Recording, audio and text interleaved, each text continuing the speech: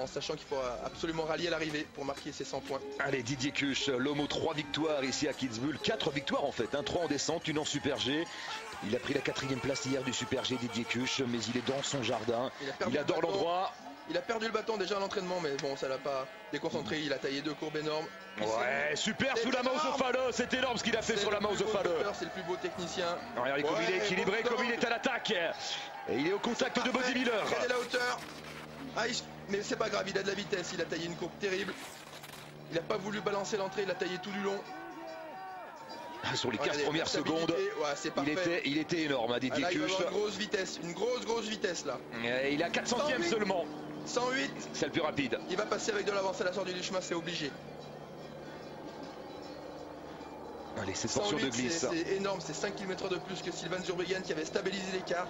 Donc euh, normalement, Didier devrait... devrait euh, voilà. Elle a 4 dixièmes d'avance maintenant par rapport à Body Miller pour Didier Kuch. 91 en sortie, c'est rapide aussi. Donc là, toute cette vitesse, il l'emmène ici.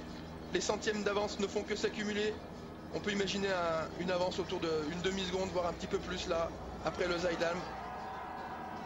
Oui, c'est bien, c'est placé. Euh, il a beaucoup d'avance, cette dixième maintenant. Il est en train de faire exploser le chrono de Body Miller, là, Didier Cuche. Il a beaucoup de hauteur, beaucoup de lucidité. C'est parfait encore. Parfait, il a beaucoup de vitesse, il a peut-être perdu un petit peu ici. Il a été un petit peu chahuté en sortie. La piste a commencé un petit peu à marquer. Malgré tout, c'est ouais, 109, c'est pas mal. C'est pas le plus rapide, mais mais c'est pas mal. Allez, on attend maintenant l'intermédiaire à Lausbergkant. Il y a ces deux courbes là à négocier avant de plonger. Un changement de pied très rapide, il a beaucoup de hauteur et c'est sur le bas qu'il est le plus fort. Il a gagné tous les jours, soit à l'entraînement. Ouais, parfait, une 0-3.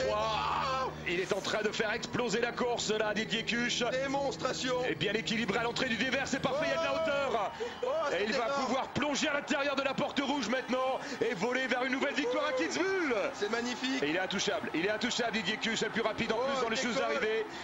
Didier Cuche, magistral une nouvelle fois avec une seconde d'avance sur Body Miller. Didier Cuche impérial, il est chez lui ici à Kitzbühel.